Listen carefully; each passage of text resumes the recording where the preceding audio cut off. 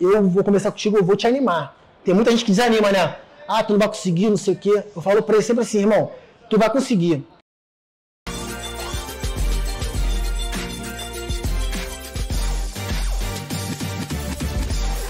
Fala pessoal, tudo beleza? Estamos começando aqui mais um vídeo no meu canal no YouTube, onde eu vou falar para vocês, eu não, na verdade, o Diogo vai falar para vocês como se tornar um eletricista marítimo. A gente está aqui a bordo da embarcação Seven Hill, no nosso momento de descanso, e durante um momento de conversa, eu conheci um pouco, né, um pouquinho só da história do Diogo, porque eu fiquei curioso e por isso que esse vídeo está aqui.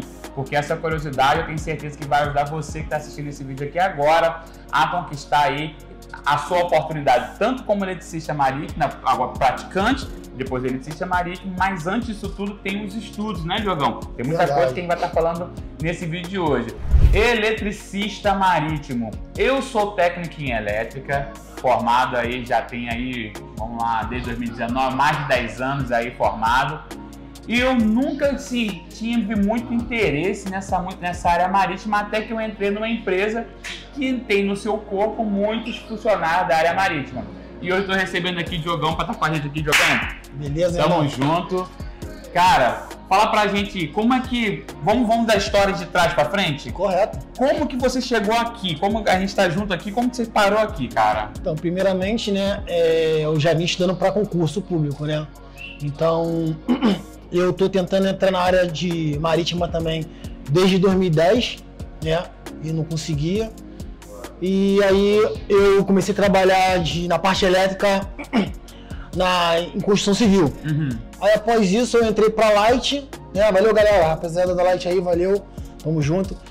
E após isso é, abriu uma oportunidade em 2020 para a prova do Kayak que não abria desde 2012. Mas só pegar um gancho aqui. Desde 2012 sem abrir, só que nesse, só que quando abriu a prova você já estava estudando. Não, então, o que acontece? Eu eu não estava estudando para concurso. Eu comecei a estudar para concurso em 2019. Ah, sim. 2019 para eu falei que quando eu saí da Light eu falei, vou estudar para concurso. Então, eu viajei para o Pará para fazer um concurso, viajei para Minas e então, abriu essa oportunidade para fazer o, o, curso do Kayak Out. Abriu. Você fez onde? Aqui no Ciaba ou no, no, no Ciaga ou no Ciaba? Foi no Ciaga, foi aqui no Ciaga. Ah, ah, foi em 2021. Eu fiz a prova, foi dia 23 de outubro de 2021, aonde que abriram 15 vagas, né? Assim, é, 15 vagas é Brasil, né? E eu passei. Altíssima, ah, né? concorrência altíssima, altíssima. Eu passei em 19. Fiquei, fiquei entre os. Assim, fiquei na reserva. É, ficou entre os 20 primeiros. Ali, Isso, né? exatamente. Mas só que com a glória do Senhor chamaram estrela primeiro, né, irmão? Eita. Aí eu fui, né? Aí fiz os testes, né? Que é natação e flutuação. E após isso, no dia 27 de novembro, 27 de novembro começou o, o curso, né? Que ela anunciava no período de 7 da manhã até as 14h40, né? É, o dia inteiro, né? A parte teórica ali. É, a parte teórica, a parte de você conhecimento do, da embarcação, é, a parte do você conhecimento da IMO, entre outras coisas. E fora a parte te, é, específica da nossa área. E assim, é, é complicado, né, irmão? Porque você tem que ter assim, um, um zelo para estudar, você tem que dividir o teu material, você tem que saber o que você vai estudar, você tem que ver as provas anteriores, o que caiu, o conteúdo. Um ponto bom e interessante. Como é que foi essa preparação? Porque as pessoas que estão assistindo a gente aqui agora, elas têm esse objetivo de, de, de tirar o carro, de fazer o, o, vamos dizer, o concurso né, ali pro, pro o Prepom 2023 está aberto, então muita gente está tá com interesse. Fala pro pessoal como é que foi essa preparação, como é que foi separar essas matérias, assim, o cara tá te, o cara tá te vendo aqui agora. Qual o dia que você daria de preparação para ele se tornar um eletricista marítimo? Primeiramente, esquece, esquece o mundo. Esquece curtição. Se você quer ter êxito no, no, se você quer êxito no teu objetivo, você tem que esquecer tudo. Tem que abrir mão de uma coisa, né? Tem que abrir. Inclusive até assim, eu até falei, falava com a minha esposa também que assim, até com a minha esposa também às vezes abria mão de algumas coisas, né?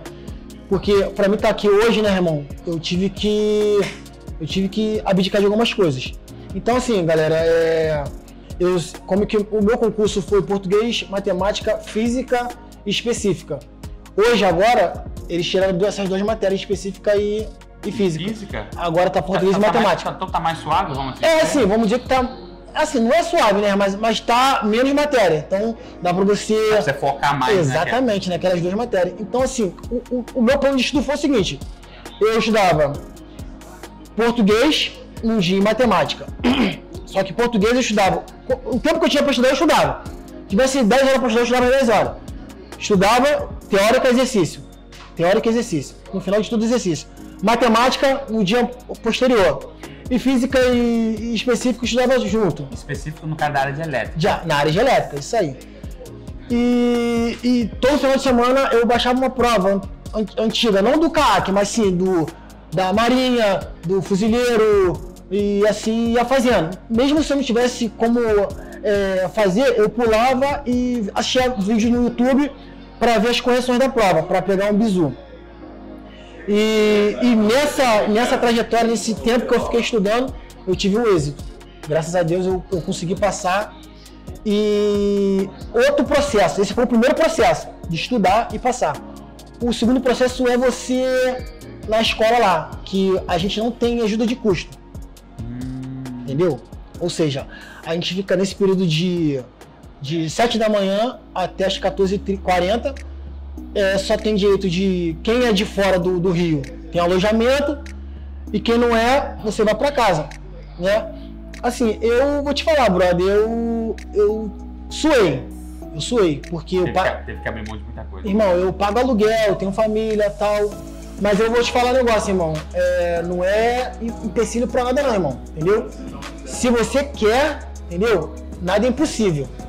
Certo? Com certeza. Então, assim, eu pô, agradeço muito o Matheus aqui por estar abrindo essa oportunidade de eu estar falando como que foi minha, minha trajetória para te animar, irmão. Porque não te, para te desanimar, entendeu? Porque se você não tá trabalhando, se você tá trabalhando e você passou na prova e tá em dúvida, fica em dúvida não, irmão. Entendeu? Cai dentro, porque eu- hoje eu tô aqui, ó. Hoje eu tô na Subcia 7, graças a Deus, né? Após o, o meu, né? a- lá na escola, lá, né? Foram cinco meses, porque o período de janeiro não teve aula. Mas só que foi recesso, então a gente conta como cinco meses. Porque nós ficamos quatro meses estudando, mas um mês parado. Então, assim, eu que tava des- parado, eu tava parado, desempregado ainda.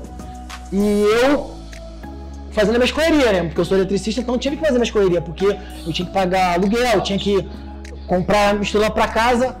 E eu vou contar um segredo para vocês que assim, num período que, irmão, que que eu que aquilo ali foi para mim foi um, assim, uma superação que eu não tinha dinheiro de passagem, só tinha dinheiro para ir. Eu trabalhava, eu morava em Piedade Uhum. e o curso era em na Avenida Brasil, em Olaria. O que, que eu fiz? Eu só tinha 5 horas para ir.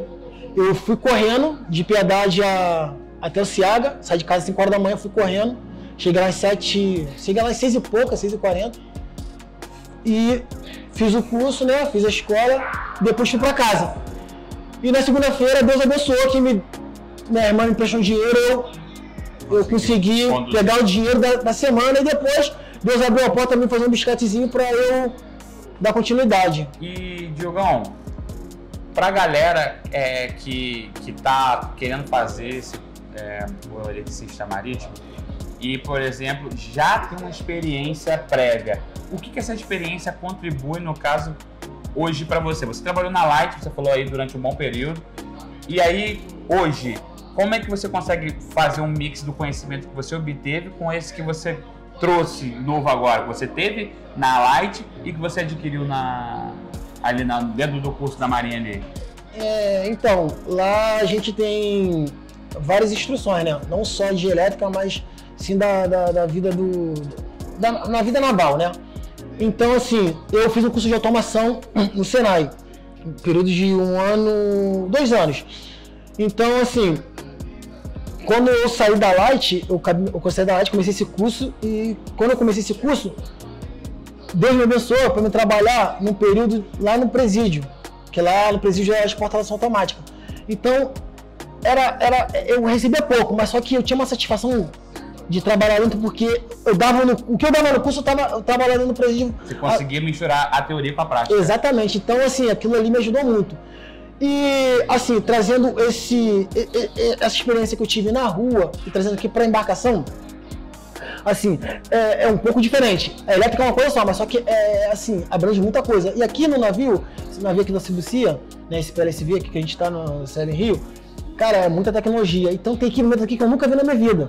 E só estando aqui para eu ver.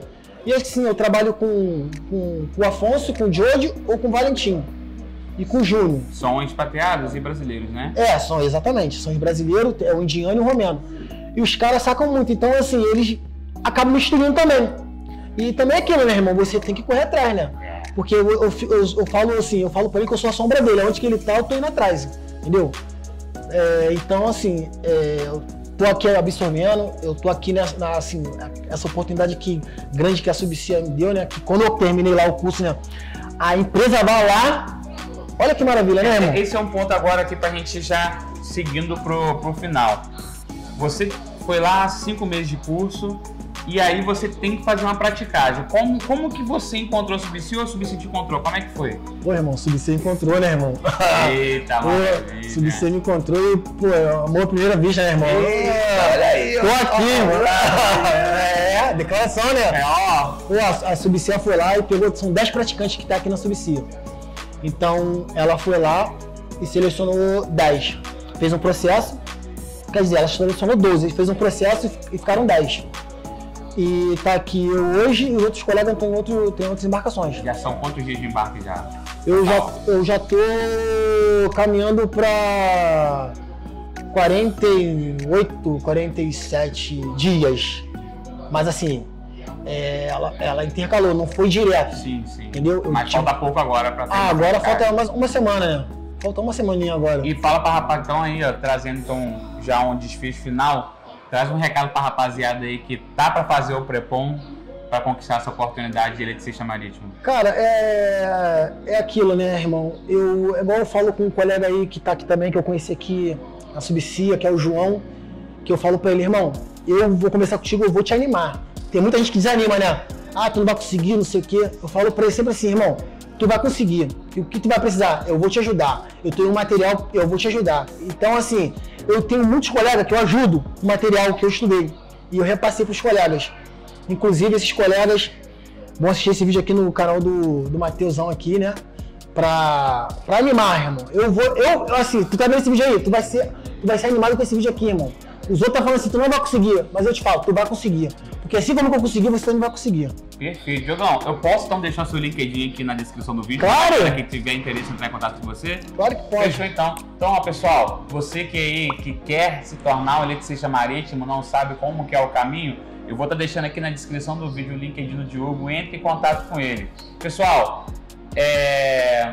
Esse, isso daqui, é, isso que você está vendo aqui agora, saiu de uma breve conversa então, o maior aprendizado que a gente tem aqui hoje é que toda a preparação que acontece nos bastidores, ontem até. é verdade. É só. Ah, parece até que é como é que é testificando a palavra. É, é, ontem, a, a, a gente estava conversando ontem sobre isso aqui, e aí a gente aprende que é tudo aquilo que a gente faz nos bastidores impacta diretamente a nossa realidade. Então, para você que assistiu esse vídeo até agora, não desista, se prepare e continue aqui no nosso canal. Se você não é inscrito, eu quero te pedir de coração, se inscreva aqui, porque você mostra para o YouTube a relevância do nosso, do nosso conteúdo. E fazendo isso, você também deixa aqui um joinha, vai estar aqui embaixo, aqui do lado, não sei onde vai estar, mas você deixa o joinha também, que vai ser muito importante. E aí estar o LinkedIn aqui do Diogo, manda mensagem para ele, que eu tenho certeza aí que ele vai estar te dando toda a atenção. E aí, quem sabe, até aquela, aquele materialzinho, aquela ajuda para você sempre. conseguir conquistar a sua oportunidade. Tamo junto, Diogão aqui. Obrigadão, camarada. Junto, e é só o começo, pessoal. Vamos que vamos. Valeu, rapaziada.